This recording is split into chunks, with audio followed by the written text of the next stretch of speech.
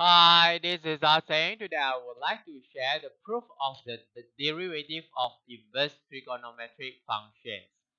We know that the derivative of inverse sine function is equal to 1 over the square root of 1 minus x squared. To prove this, we let y equal to inverse x. So means that sine y is equal to x.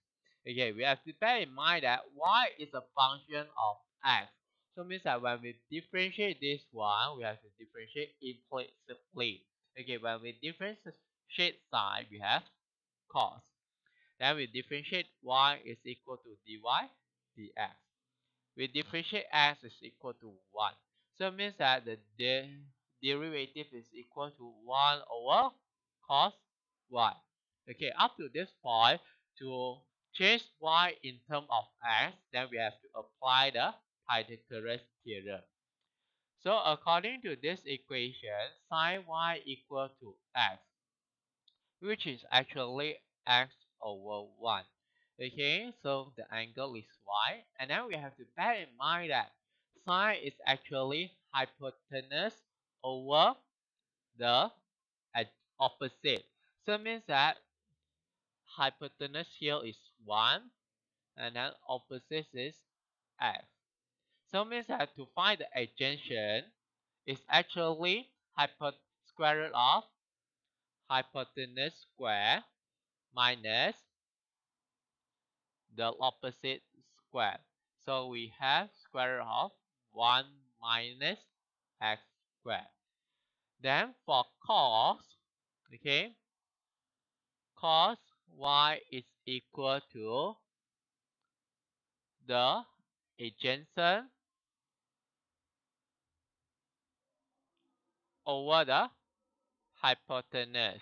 So 1.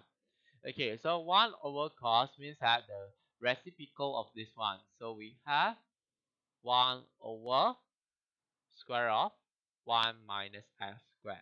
Okay, And then we have this. Okay, then we go to the inverse of cos. Okay, also we let y equal to inverse cos x. Then cos y equal to x. So when we differentiate cos, we have negative sine y. Then differentiate y equal to dy dx. Differentiate x is 1.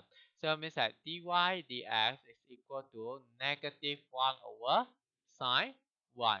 Then we use the Pythagoras theorem. Cos y equal to x over 1. So hypotenuse is 1. Then the adjacent is x. So here is 1 minus x squared. Okay.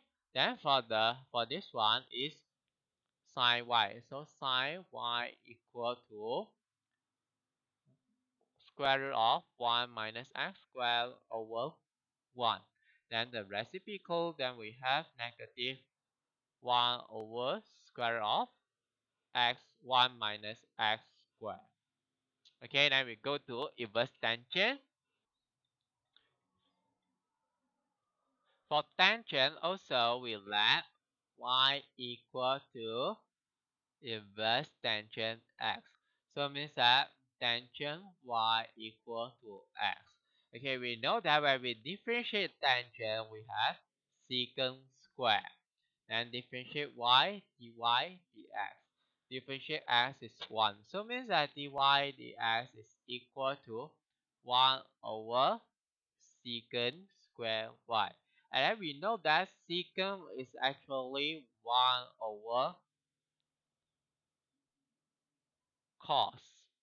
So we have cos square y. Okay, then we apply the Pythagoras theorem.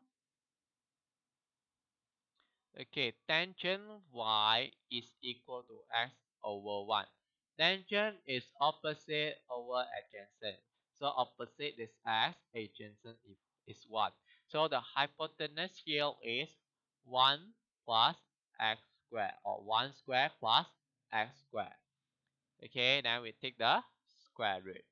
Okay, so for this one, we have cos square y. Okay, for cos is the adjacent over the hypotenuse. So we have adjacent over the hypotenuse 1 plus x squared. Then because we have square here, so the whole thing square. And this one gives us 1 over 1 plus x squared, which is equal to this one. Okay, that's all for today. Thanks for watching. Hope you like it. See you.